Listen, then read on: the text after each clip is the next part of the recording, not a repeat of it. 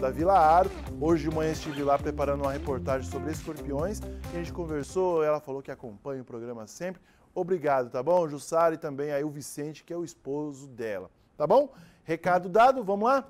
Nesta semana, o Programa Municipal de Defesa do Consumidor, o PROCON, né, de Três Lagoas, realizou uma pesquisa de preços em supermercados e açougues para comparar quanto o Três Lagoense está pagando no quilo da carne.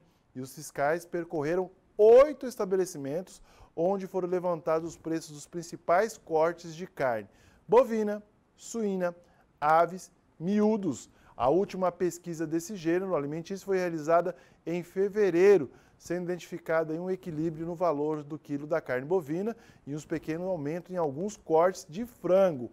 A ideia é falar que o consumidor precisa pesquisar, pois existe uma diferença de até 200% no valor de um estabelecimento para o outro. Gente, 200% é muita diferença.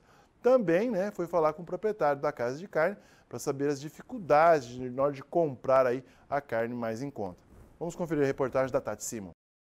Pesquisa, olha, compara e calcula. O ritual de cada ida ao açougue é sempre o mesmo para muitos consumidores. Com os preços dos principais alimentos nas alturas, a carne também está comprometendo o orçamento de muitas famílias. Na casa do seu Gilmar tem espaço para todos os tipos de cortes de carne. Hoje, a escolha foi porco.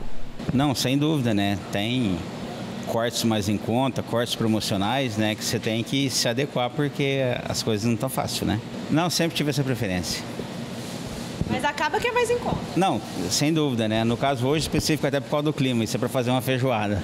Pesquisar e testar todos os tipos de proteína são as principais instruções que o economista e professor universitário Marcel Riso passa para quem quer dar uma economizada. O brasileiro, de maneira geral, né, não só a dona de casa, é muito criativo. Ele tem que usar da sua criatividade para mudar o prato, mudar o ingrediente, ele tem que buscar promoção, ele tem que estar de olho no folhetim do supermercado. Hoje tem grupo de WhatsApp para tudo, né?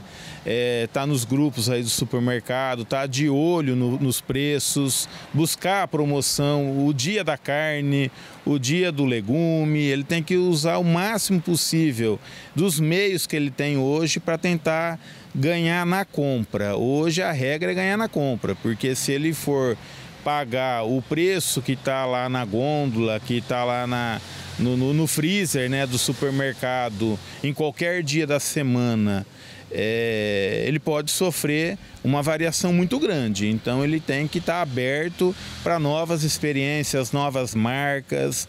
Ele tem que ser criativo. Hoje o, o brasileiro já é criativo, né? Mas hoje ele tem que ser mais criativo ainda para sobreviver à inflação.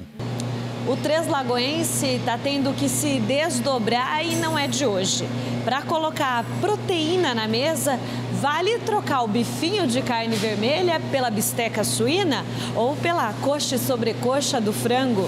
Mas para quem quer garantir o tradicional churrasquinho de domingo de Dia das Mães, vai precisar pesquisar pela melhor oferta. Para dar uma ajudinha, o Procon de Três Lagoas chegou a realizar uma pesquisa de preço de 29 tipos de cortes de carnes bovina, suína e de frango em oito estabelecimentos. A coxa de frango está sendo comercializada a uma variação de 212%. O corte é encontrado a R$ 7,99 em um açougue e a R$ 25 em outro. A sobrecoxa também está salgando o orçamento o quilo em um mercado é vendido a quase 10 reais, ao passo que em outro açougue custa 25 reais e tem aí uma variação de 150%.